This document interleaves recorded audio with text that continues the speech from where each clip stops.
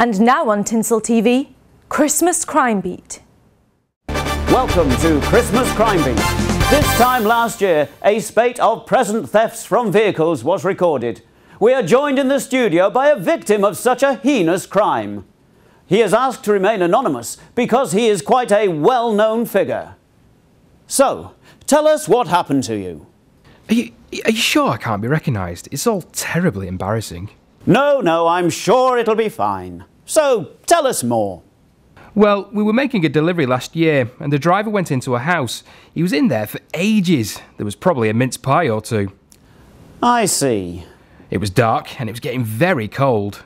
And then what happened? When he came out and went to the back of the vehicle, all the presents had gone. He'd left them where a thief could see them. Well, a lesson for us all there. Don't leave your presents on display in your vehicle. And I'd like to thank our victim for speaking to us. Thank you, Rudolph. Donner and Blitzen.